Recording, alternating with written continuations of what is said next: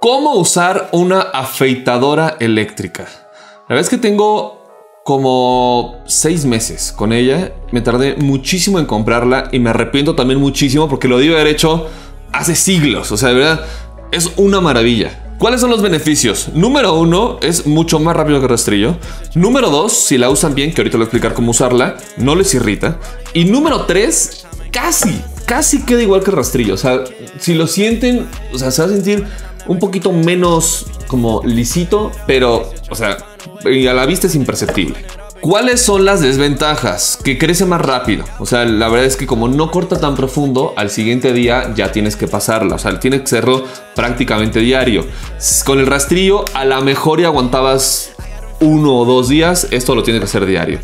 Otra cosa es que necesitan una trimmer. Que ahorita que empecemos a hablar de todo esto. Todo esto está en, en las descripciones, todos los links y eso. Pero ahorita que les empiece a hablar de cómo usarlo, van a entender por qué necesitan una trimmer. Este es un paquete que viene todo junto. Que, de, o sea, si van a comprar esto, a fuerza necesitan la trimmer, excepto que ya tengan una. Ahora sí, ¿cómo se usa? Tenemos que usar la trimmer porque si pasamos esto, o sea, si yo me paso esto por la barba, sí va a cortar pero me va a tardar años porque al final esta cosita tiene como que muchas rendijitas por adentro. O sea, son estas navajas que tiemblan y al estar temblando van a pasar por nuestros vellitos y los van a ir cortando los pocos vellitos que entren.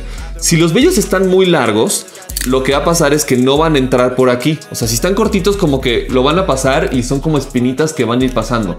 Pero si esto está así y yo me lo paso como hasta en la cabello, si me lo paso así como al, como al crecimiento, no va a cortar mucho. Entonces van a estar la trimmer. ¿Qué es lo que van a hacer? Paso número uno, vamos a agarrar la trimmer y nos vamos a delinear todo. Y vamos a quitar lo más posible.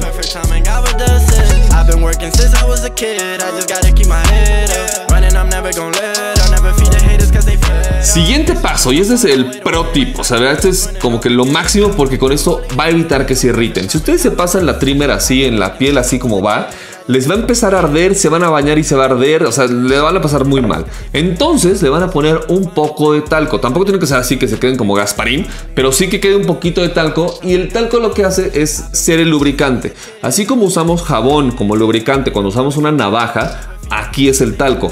Obviamente no podemos usar jabón, porque si ponemos jabón o agua, esto se descompone porque es eléctrico. Entonces vamos a poner un poquito de talco y ahora sí vamos a pasar la rasuradora. La rasuradora la vamos a pasar en contra del sentido del vello para que vaya cortando. Y el chiste nada más es ir sintiendo un poquito, no necesitan muchas pasadas porque de igual manera se pueden irritar. Nada más vayan sintiendo unas 3-4 pasaditas y a lo mejor puede que, o sea, ya pasan la, la rasuradora y alguna sección que dices que esto no se corta, regresamos a la trimmer, cortamos cortamos ahí, seguramente les faltó. Y otra vez volvemos a pasar hasta que quede completamente liso.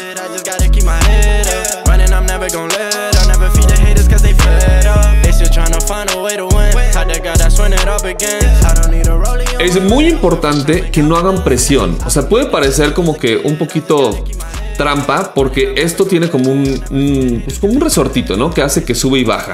Pero si ustedes lo presionan demasiado contra la piel, lo que va a pasar es que van a cortarse y se van a irritar. Entonces lo ideal es que, o sea, si hagan un poquito de presión, pero es básicamente así como, como si estuvieran sobando la piel. O sea, no necesitan hacer tanta presión. Ahora, si lo van a hacer diario, probablemente se puedan olvidar de la trimmer. Porque la trimmer es cuando está más largo. El crecimiento de un día a otro es tan poquito que chance y la arman. O sea, de hecho, si yo religiosamente lo hago todos los días, nada más uso esto. Ya si lo dejo pasar dos días, le cuesta trabajo. Al tercero, forzosamente tenemos que usar la trimmer otra vez. Y por último, lo único que queda es limpiarla. No es necesario limpiarla cada que se rasuren, excepto que sea demasiada. O sea, si se rasuran toda la barba, a lo mejor sí. Pero como yo no me rasuro esta parte de aquí y las partes de acá abajo, o sea, no tiene sentido que la limpie todos los días. Pero literalmente lo único que hacen es abren aquí, levantan esto y ya sea que sopladita y el kit trae por aquí un, una brochita. O sea, brochita súper sencilla y le dan su limpiada, lo quitan. Obviamente va a haber un poco de talco, además de los pelitos, pero no pasa nada. O sea, nada del otro mundo, se limpia súper, súper fácil. Este kit, como les digo, lo encuentran en Amazon.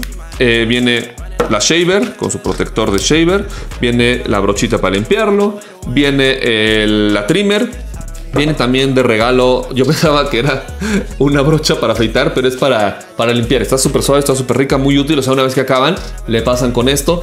También si quisieran, podrían echarle el talco aquí y esparcirlo fácilmente. Y su cargador y su estuche, que es básico para poder tener todo en orden y en su lugar.